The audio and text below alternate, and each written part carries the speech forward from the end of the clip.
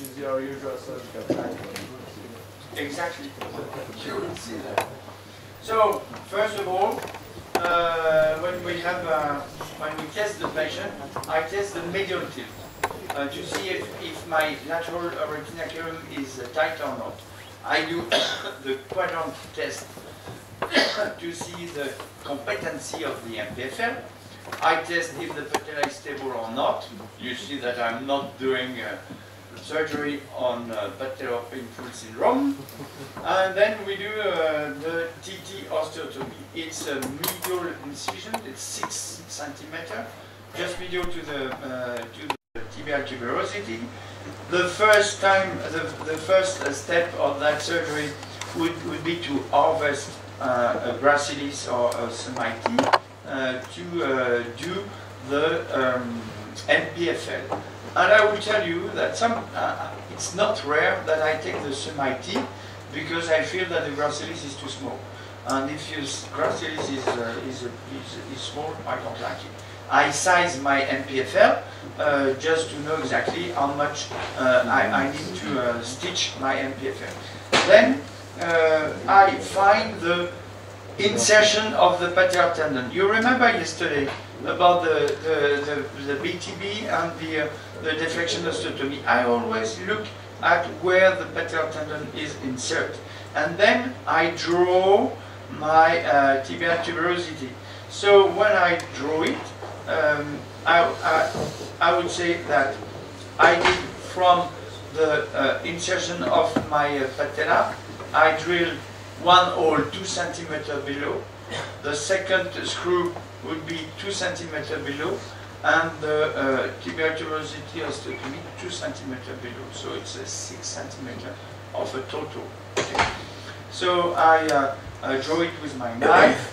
Uh, I uh, push a little bit the periosteum just to expose the bone, and then I will uh, uh, drill my holes so I take exactly the ruler and I do that every 2 centimeter.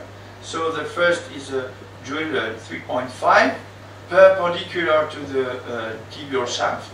Second screw perpendicular to the tibial shaft. It's fundamental because when you will screw it, you will keep uh, the, the direction. And what is very, very important when you do uh, uh, tibial tuberosity osteotomy is to do two small holes at the, uh, at the distal part of your tibial uh, tuberosity because you uh, will prevent from any uh, stress fracture when you when you cut your TT osteotomy. Uh, everybody is afraid about that.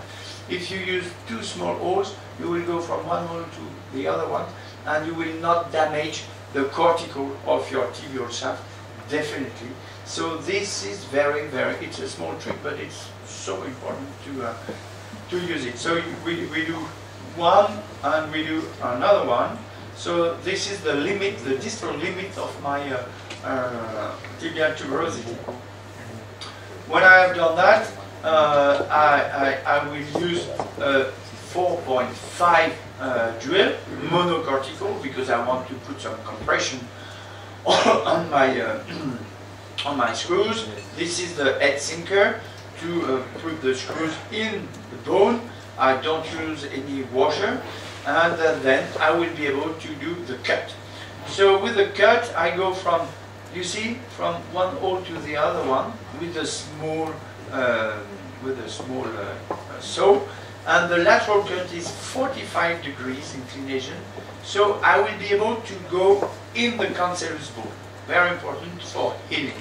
And I go from the lower uh, lower uh, hole to uh, the patellar tendon insertion portion. And then the medial cut would be a flat cut. It's a flat cut because I want to majorize. I want I want to be able to majorize my uh, my tibial tuberosity. So the orientation of the two cuts are uh, uh, are different, definitely different. When we have done that, we uh, will detach the, uh, the tibial tuberosity uh, with an osteotome and uh, it's very easy. Just uh, do a little bit uh, of that on the osteotomy, and then you detach from the top, from the top, like the BTB, okay? One, one uh, it, it, it, goes very uh, easy up.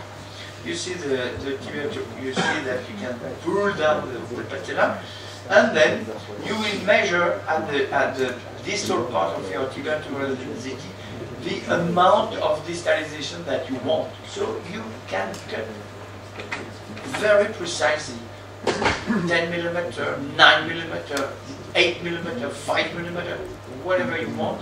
You are so precise when you do that. So no risk of patella infera because you have measured everything.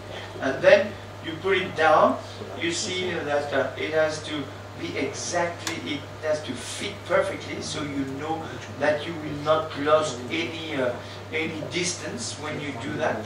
And the, the, the, the screw will be uh, perpendicular to the tibial shaft.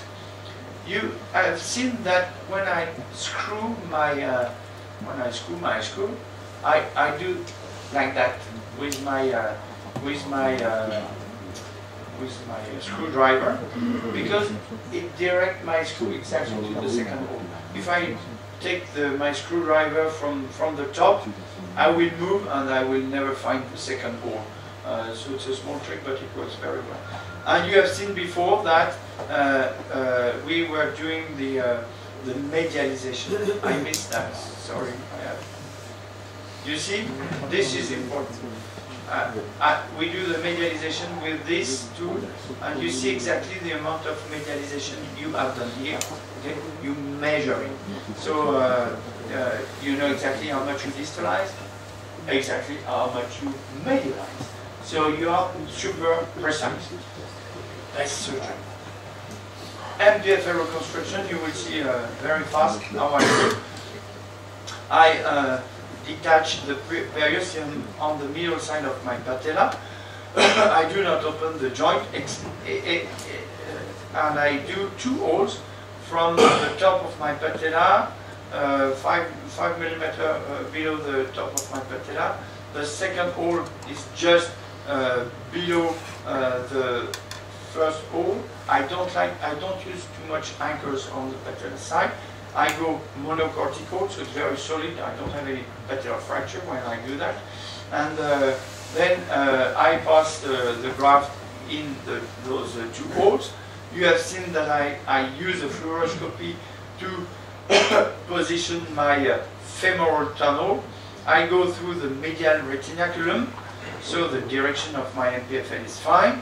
Then I find the second layer, pass my graft, and pull my graft in the, in, in the femoral uh, tunnel. And then you see the knee is at uh, 75 degrees and the surgery at that uh, angle of flexion. I pass the graft and I will pull to the maximum the graft. In extension, okay? I pull to the maximum and I test the patella. So it's overcorrected, definitely. So it is bad. So what I what I do, I put the Kocher on that side, and then I sight the knee 10 times, like an ACL, okay? And then I test again my patella. And uh, if, uh, uh, and, and, you see that uh, when I test the, the, the, the patella, uh, the patella is moving, it's not, it, it doesn't correct the patella, it just lock, clocks the patella, not dislocated. This is the goal of my MPFL. So I don't care the angle of flexion, of fixation. For me, it's uh, blah, blah, blah. Uh, if you are anatomic, it's okay. And uh, if uh, you will be perfect, and uh, if it locks your patella, this is the goal of MPFL. It's not a realignment procedure uh, for, for, for, for sure. So, well, that's it.